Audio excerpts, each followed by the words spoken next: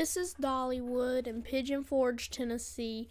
This park was originally Silver Dollar City, but Herschend Entertainment acquired this park and now it is operated as Silver Dollar or as Dollywood and this park also is ran by Dolly Parton, which is basically what designs everything in this park.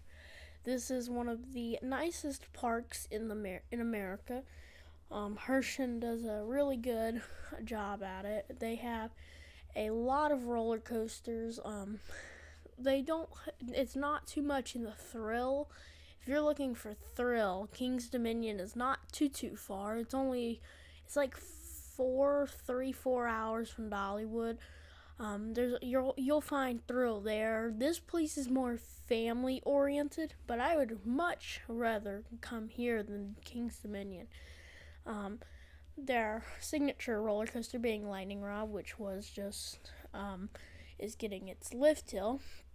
Um, they have Mystery Mine, which is a Gerstlauer Eurofighter. Um, Wild Eagle, which is a B&M wing coaster. Tennessee Tornado, which is the last Arrow looper ever made, and that is definitely the best Arrow looper. Um, there's Fire Chaser Express, which is a Gerstlauer family shuttle coaster, and there's uh, Dragonflier, which is a Vekoma suspended family coaster. They have Big Bear Mountain, which is the new for 2023 uh, multi launch, and then they have uh, Thunderhead, which is a GCI, which was made back in 2004.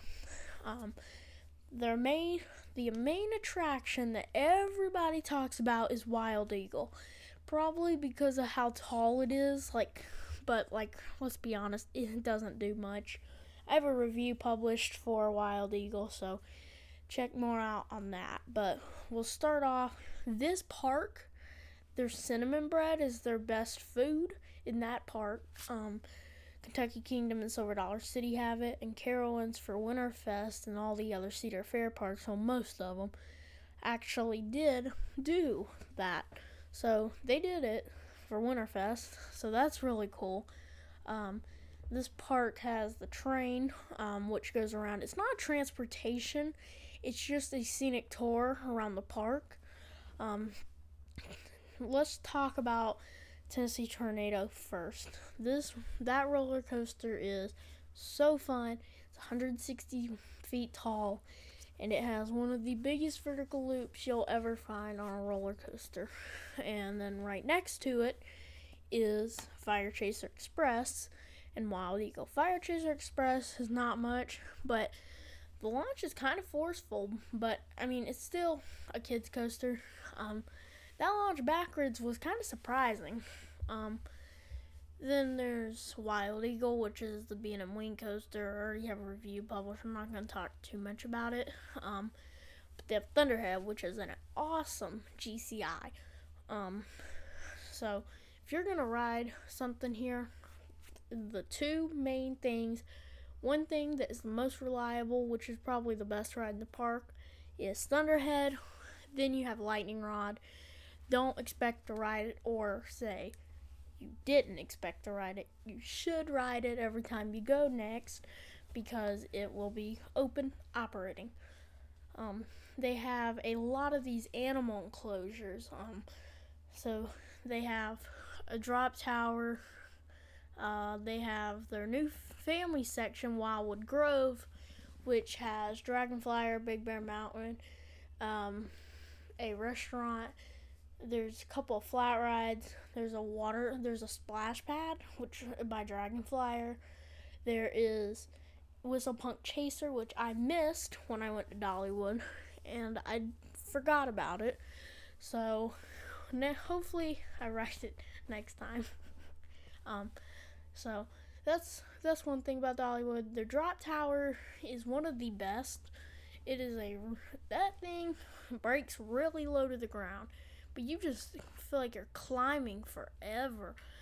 And we we set up there. I set up there probably 20, 20 30, 40 seconds. Um, they have an on-site hotel. over by the back of Lightning Rod. Splash Country, which is completely separate. It's in the same parking lot, but it's completely separate from this park. Um, but Wildwood Grove will definitely will definitely expand in the layer. There's Timber Canyon, which is Mystery Mine, Dropline, and Thunderhead. There's the main section of the park, which is Lightning Rod and the county fair. So the county fair is where you board your train. There's a lot of flat rides over there. The county fair is one of the weak sections of the park. Um, there's a lot over there, but it's kind of like this would be like this is a giant park and don't make the mistake I did where you have where we went around from the front entrance to get to the back of the park going right and going around. There's a little pathway over by Thunderhead that will and the Dollywood Theater. If you go around through there, it'll take you right on up. And I didn't know about that. And so we walked around the whole time. So that's one thing. So just be warned. Um, but this is a really nice park overall. They're they definitely have they don't get they they're not really amusement based. They're more theme. It's a theme park because Dolly puts on shows here. Their food is amazing. Um, everything here is really great. The only thing that is one thing about this place is it's really not the best accessible place to get to because um, it's like seven hours away. But that's gonna wrap about everything up about Dollywood. See you in the next video. More to see here from Coaster Stuff. Bye.